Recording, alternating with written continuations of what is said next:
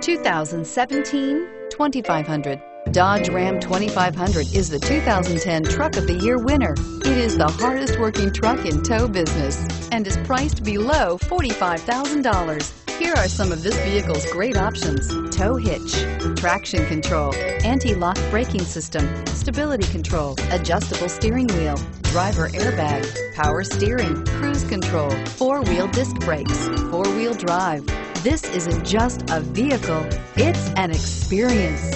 So stop in for a test drive today.